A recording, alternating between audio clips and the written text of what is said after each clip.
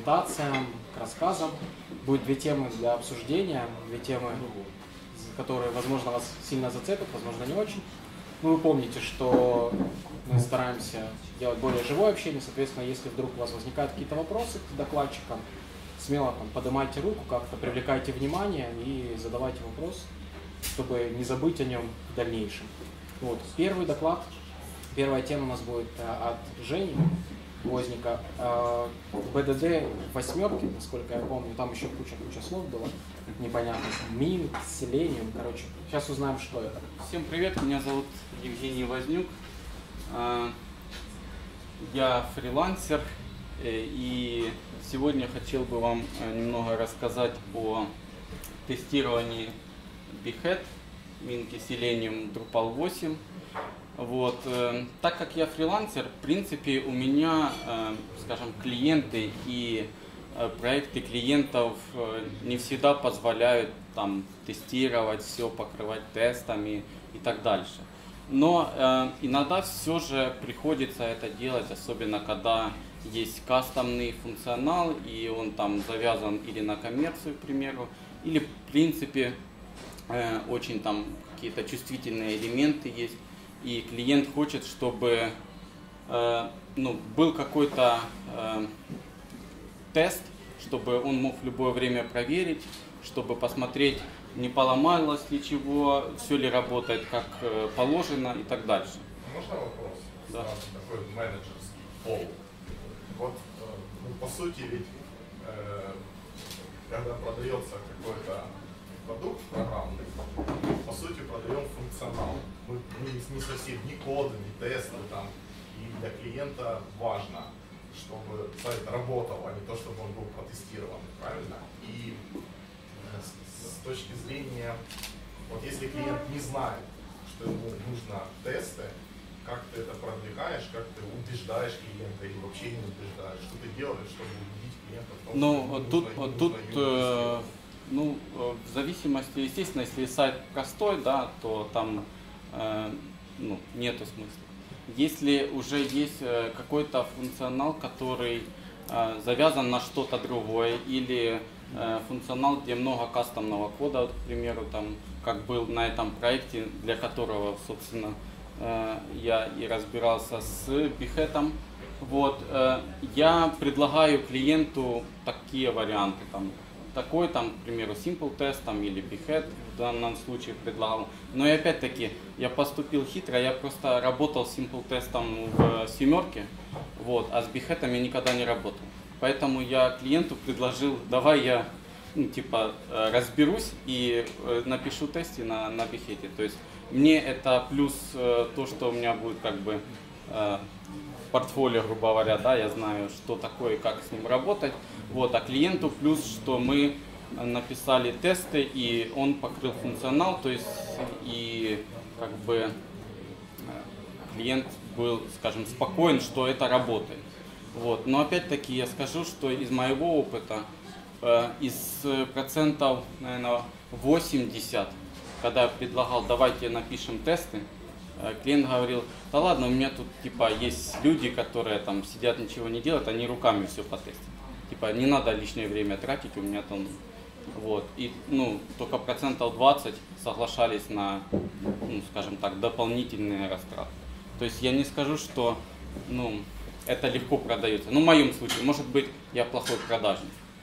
Э, получается, что там, где ты говоришь про клиента, где ты использовал Behead, то это какой-то постоянный заказчик, потому что ты говоришь, что ты э, смог ему продать то, что давайте я выучу Behead, я узнаю, что это такое, и буду использовать. Э, было, было следующим образом, то есть э, был модуль, э, я сказал что-то, к примеру, там estimate был, грубо говоря, там 50 часов, да, я его сделал за 40, у меня 10 часов осталось, я говорю, ну, в принципе, э, было бы неплохо покрыть тестами, он говорит, ну ты в принципе не, ну, как бы estimate не закончен, поэтому работай, покрывай, то есть все нормально.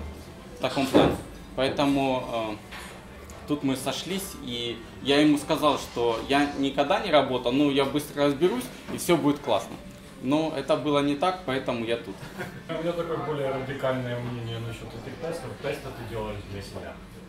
Чтобы когда тебе, если вот особенно если ты фрилансер, я, например, у меня сейчас боль, я в прошлом году сделал на коммерции сайт, и я его сейчас поддерживаю.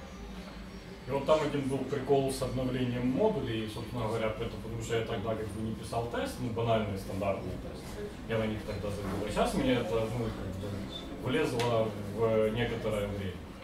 То есть, если ты, особенно если ты фрилансер, ты просто их пишешь для того, чтобы ты знал, что тебе не надо будет потом перекликивать и вспоминать, что там, бог знает, когда было сделано, а запустил, посмотрел, что сработало, что не сработало, и ты можешь спать частично спокойно. Но с другой стороны, ты все равно завязан на времени, потому что если у тебя банально времени, то ты, если фрилансер, скорее всего, ты не будешь этого делать.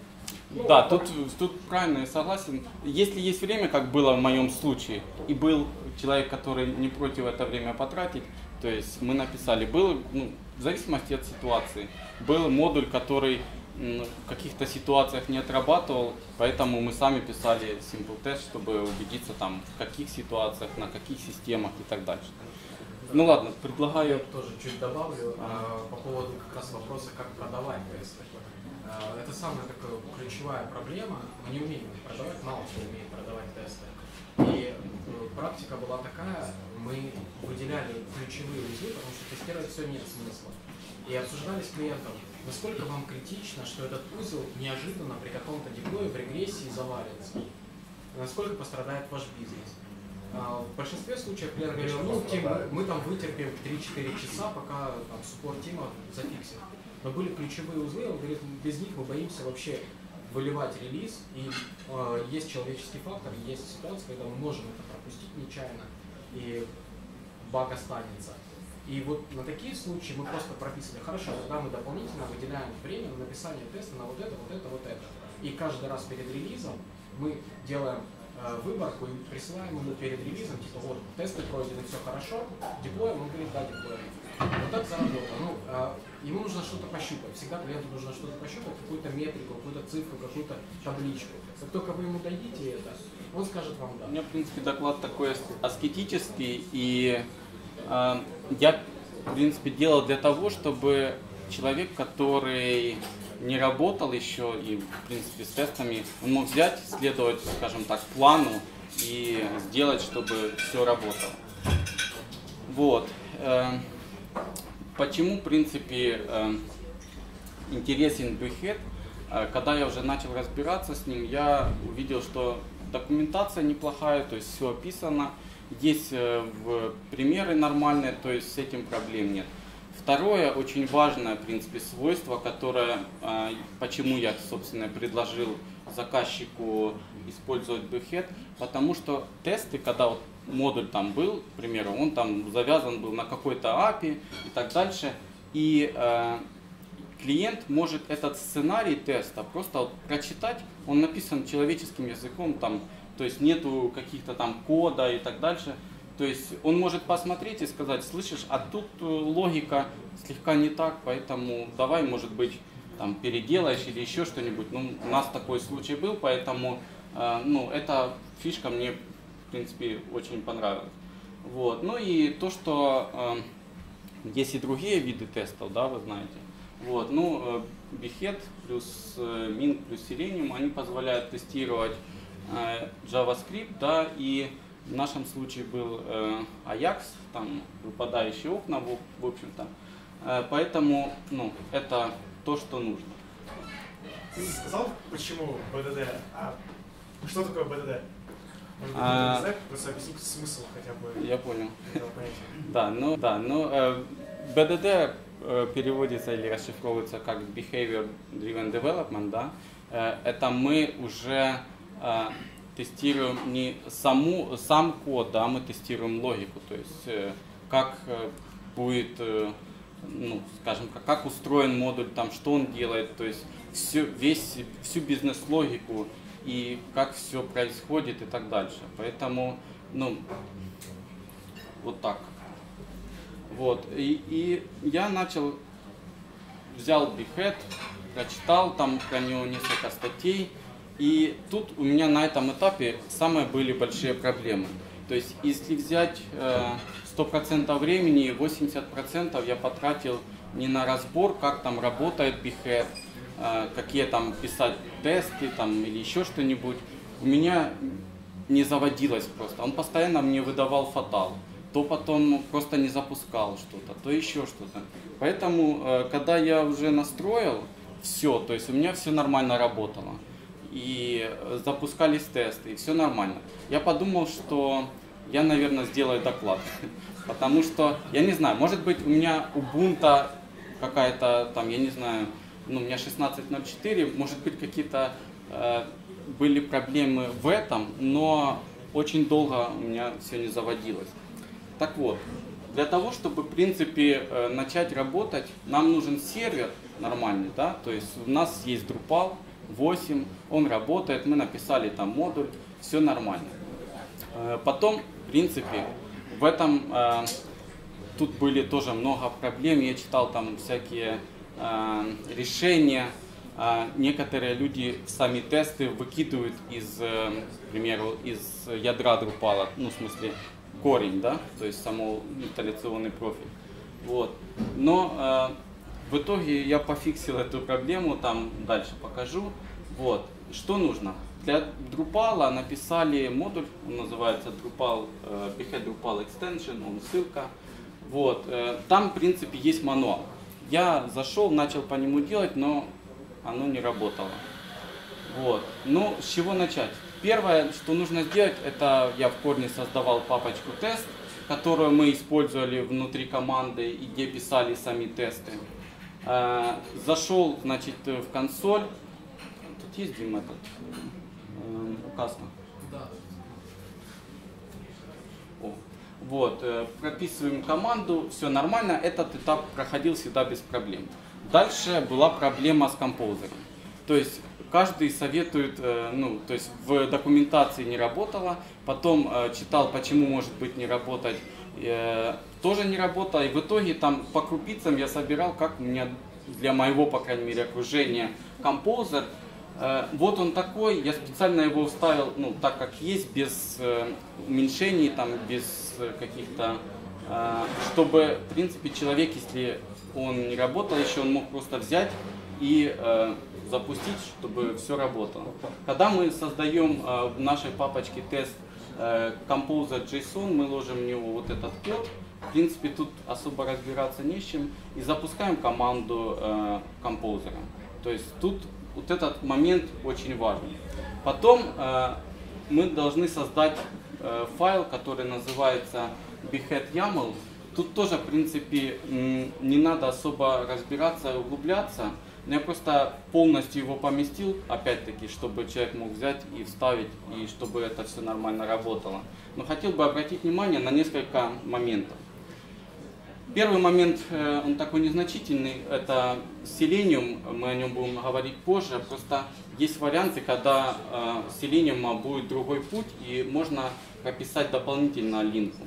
Но в основном, если это просто обычный сервер, это не виртуальная машина какая-то, то есть достаточно тильды. И тут вот самый важный момент, когда, который меня, в принципе, ну, забрал очень кучу много времени. Э, браузер name Chrome. То есть я по умолчанию э, все время ну, работаю в Firefox. Но Firefox, он такая какая-то интересная зверюка, он не работает с минком, то есть он не поддерживает все команды. Я думал, что у меня просто ну, что-то с тестами. Я не, он, я запускаю, а он не отрабатывает. Запускаю, не отрабатывает. Меняю, переустанавливаю, но ничего не отрабатывает. В итоге э, я нашел, как там можно исправлять, но опять-таки я не включил это в презентацию, потому что у меня до конца так и не заработало. Вот, поэтому э, я перешел на Chrome. И с Chrome у меня просто вообще не было никаких проблем. То есть все нормально работало. Вот. Э, потом важный момент base URL, это что мы в принципе тестируем Э, потом э, именно с чем мы будем работать, то есть там есть несколько вариантов, Drush или Drupal. Э, в данном случае я поставил Drupal и, собственно, URL, не URL, а путь, где лежит ядро Drupal. Вот у меня так. Еще есть такой вариант, ну, нам нужен был для нашего модуля регион map. Я оставил только тут один э, контент. То есть, если вам надо тестировать что-то в зависимости от региона, вы можете сказать, что в контенте у меня он там, э, вы, можно обратиться к нему через такой-то класс или айдишник.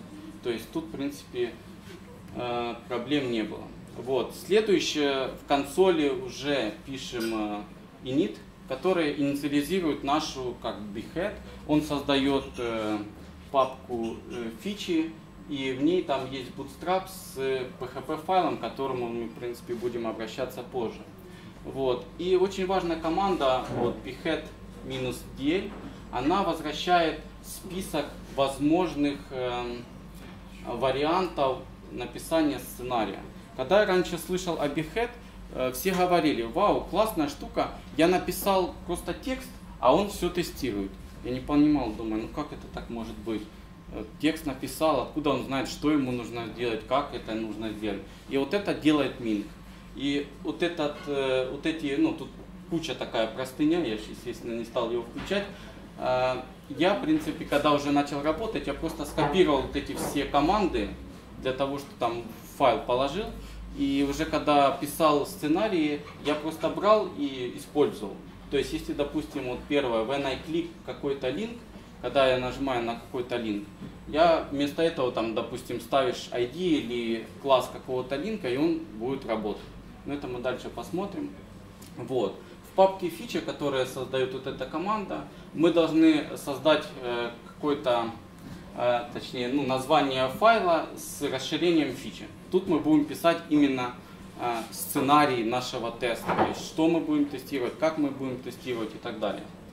Вот. Э, Все это, то есть парсится и, грубо говоря, переводится из э, текста, ну, не из текста, ладно.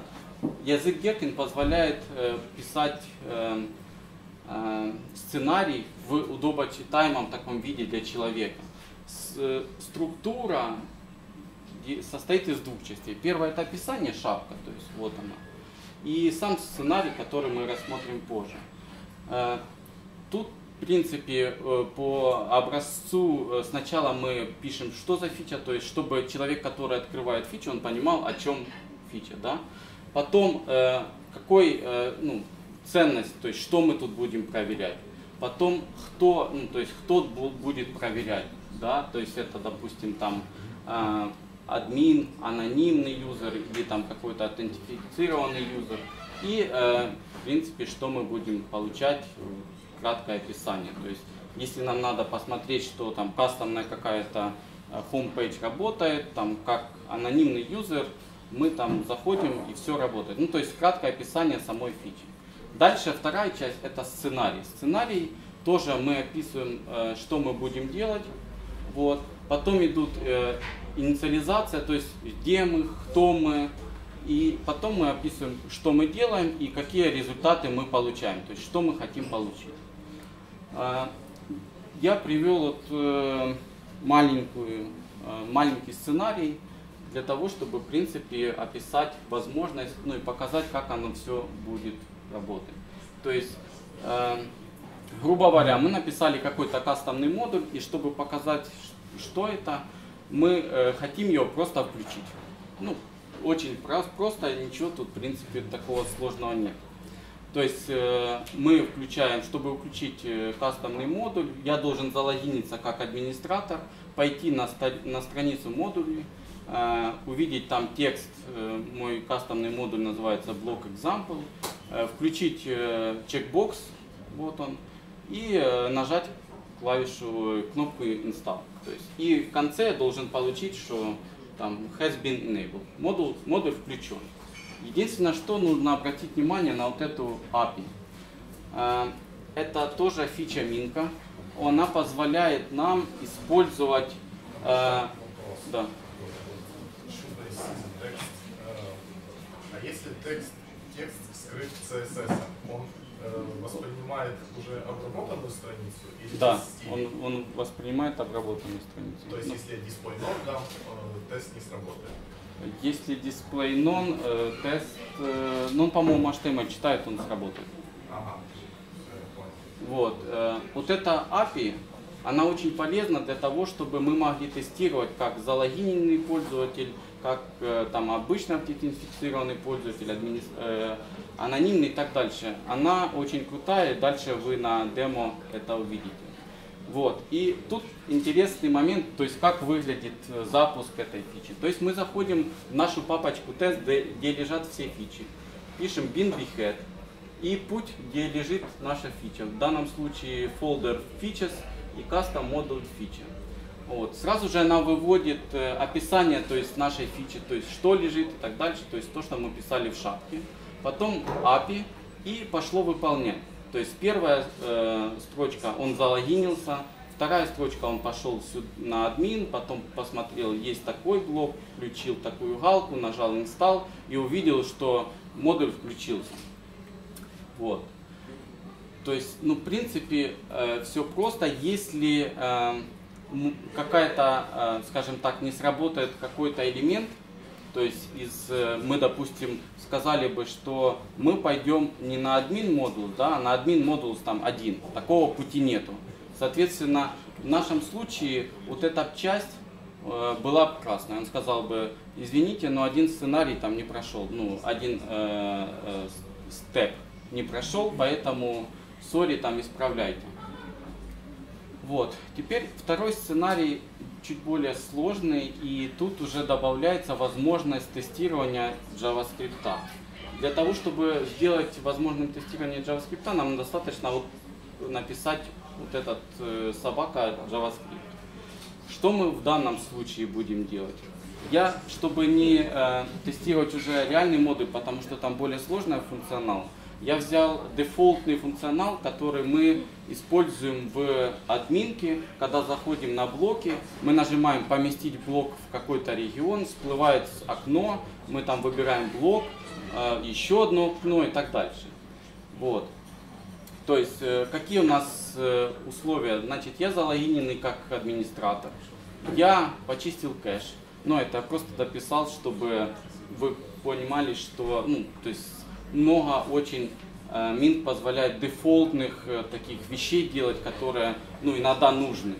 Вот. Э, я посещаю блог, я кликаю на добавить, контент, добавить блок в регион контент, то есть это, это именно та ссылка, по-моему, это title или класс или ID, не помню. То есть Mint, Mint ищет по альту, по href, по а, классу и айдишнику. То есть что-нибудь, что есть, то и будет работать. Если уже ничего нет, он говорит, я не нашел такой ссылки ни с классом, ни с тайтлом, ни с чем. То есть... И, класс, и ID, допустим, есть на странице. А... Это разные элементы.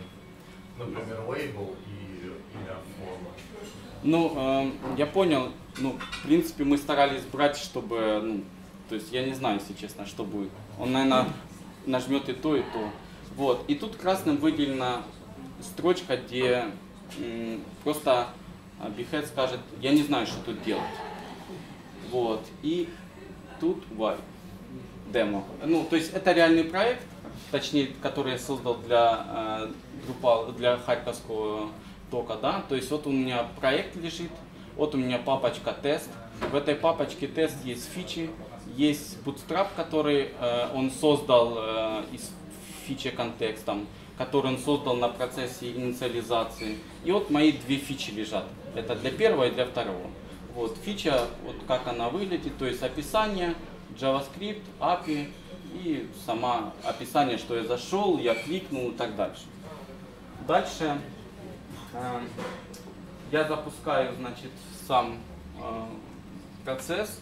Вот он открывает мне Chrome, то есть с Firefox, как я сказал, не работает. И э, вот этот API, который я говорил э, в, э, в, этом в сценарии, он позволяет нам тест, э, заходить как администратор. То есть у меня на сайте вот этого юзера C, Y и так дальше нету.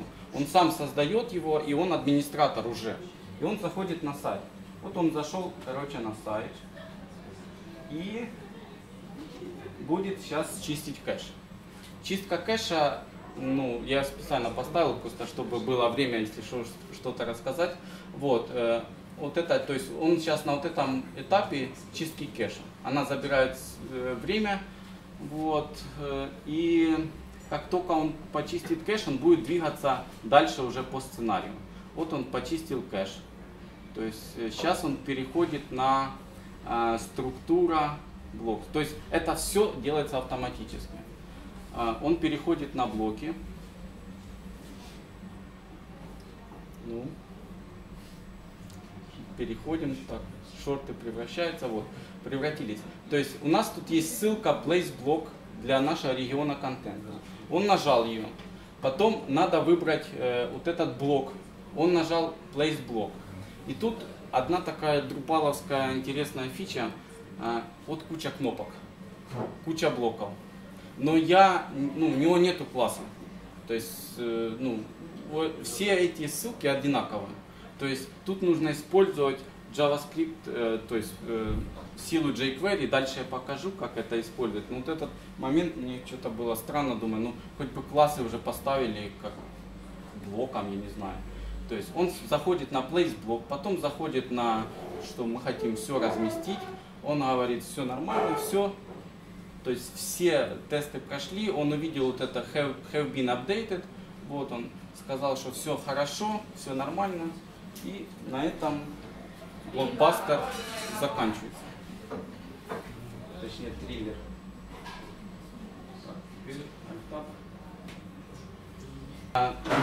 На этом черном слайде вы можете увидеть, что а, этот JavaScript, который был, сейчас, секунду, вот эта штука, она, возможно, и будет работать только вместе с Selenium.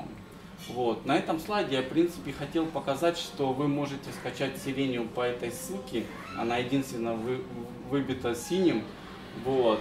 И э, вам нужно будет установить Java. И для того, чтобы запустить Selenium, вам надо просто скачать файл и в консоли написать java-jar и название файла. И все, он запустится. То есть, в принципе, ничего такого сложного нету, все тут просто. Вот. Но когда мы запустим э, вот этот сценарий, то есть мы зайдем в нашу консоль да, и напишем тут э, наш э, сценарий, то он выдаст нам вот такую простыню и скажет I'm waiting for Ajax, я не знаю, что это и что с ним делать. То есть это та часть, когда мы нажимаем на place блок, он всплывает окно, и он не знает, что там будет происходить и так дальше. И тут э, именно в этом случае нам понадобится э, фича контекст э, PHP файл, где мы должны описать, что мы хотим делать там. Э, тут в принципе четыре строчки, я сейчас кратко расскажу. То есть Mink, э, что э, хорошо в Минке, да, и вместе с Behead экстеншеном. То есть они нам позволяют врываться, то есть в сессию, то есть которая сейчас происходит, вот он нажал, к примеру, да, мы говорим, подожди, пожалуйста, две с половиной секунды, и должен всплыть jQuery диалог, да, то есть вот этот окно, которое всплывает на, ну, на видео, у него класс UI диалог, то есть если он есть, то все нормально. Дальше мы говорим, что э, в этом диалоге э, у href будет example empty. То есть это то, про что я говорил, что нету ни единого там класса, айдишника или почем бы хотя бы взять и кликнуть по этой ссылке. Поэтому нужно использовать href. Я тут просто сказал, что в href должно быть example empty. Это мой блок. И кликнуть по нем. Опять мы ждем. Он переходит на, уже на э, редактирование блока, точнее конфигурацию. И мы опять говорим, что опять появится диалог.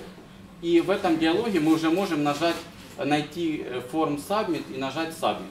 То есть э, сказать, что все нормально.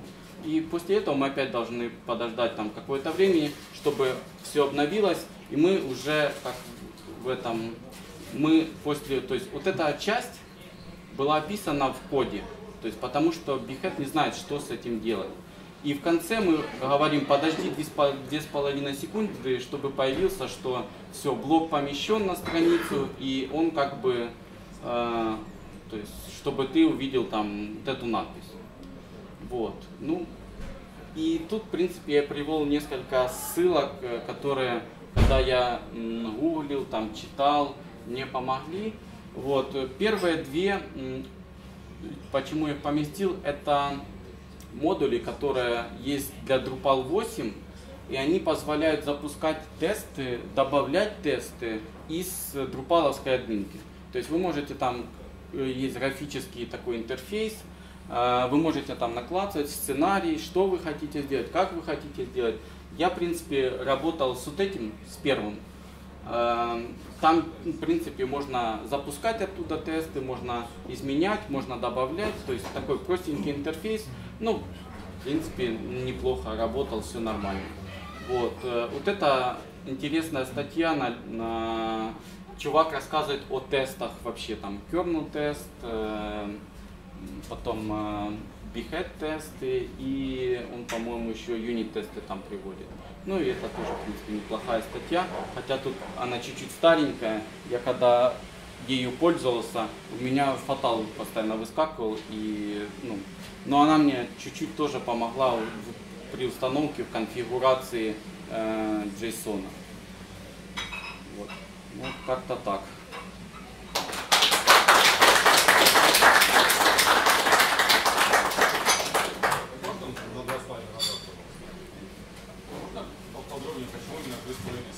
Это я просто ну, для этого, для, ну, как пример просто поставил 2,5 секунды. Но вообще, э, у меня просто там в, ну, в реальном модуле, который мы тестировали, там было, э, ну, мы поставили там сначала что-то, я поставил 100, он, по-моему, сразу не сработал, поэтому я увеличил там тысячу поставил. Ну, а тут просто две с половиной чтобы хватило. Ну, я, я... Да, да, да. Они это будет, будет Ajax комплит, что-нибудь типа такого, чтобы он, ну, в принципе, если интернет слабый, так, то, ну, к примеру, дольше будет. Машина что-нибудь загрузить. Ну, не, ну тут, э, да, тут мы, в принципе, тестили все на локальной. Э, но в люляботе, в котором там я приводил ссылку, они тестили с вейтом, поэтому, то есть ожидание. Я не знаю, есть ли там какой-то комплит. Ну, все так, поэтому и я так. Можно wait заменить какими-то аналогами wait for или wait for element? Э, я искал, но я не нашел, то есть, может быть, на самом деле смысл тайм-аута не только в том, чтобы ждать, а чтобы тест обвалился, если даже через это время оно не отработало. Поэтому если ты поставишь большее время, у тебя прогон всех тестов будет намного дольше. Нет, это Там, э, на самом деле есть Drupal.org issue, совсем недавно э, вот как раз именно эту проблему с вейтом выделили в отдельный класс, чтобы как, как ее решить можно потому что ожидать э, очень много, на самом деле сильно очень удлиняет общий прогон тестов и как бы, регрессии по времени тяжело тогда контролировать.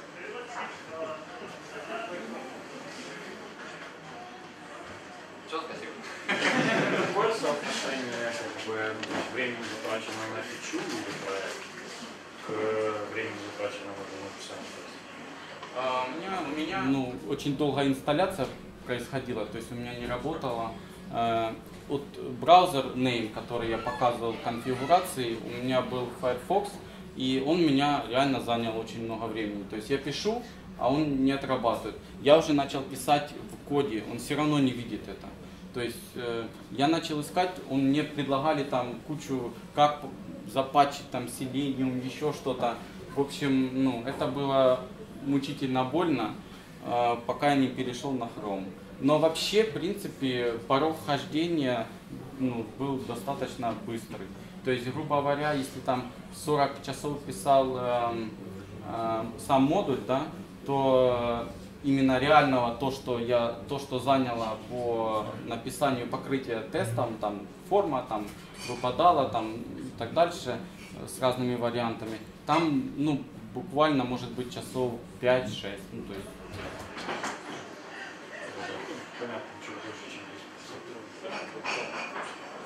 Ну и опять-таки, я работал с ним первый раз, то есть я, я не знал этих команд, у меня было там список, я смотрел, что есть, что нету.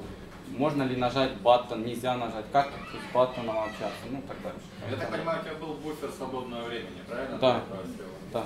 У меня был estimate на 50 часов, я сделал модуль за 40, 10 часов у меня было времени, поэтому ну, я, я больше использовал, потому что я часов 6, наверное, а то и больше, наверное, устанавливал.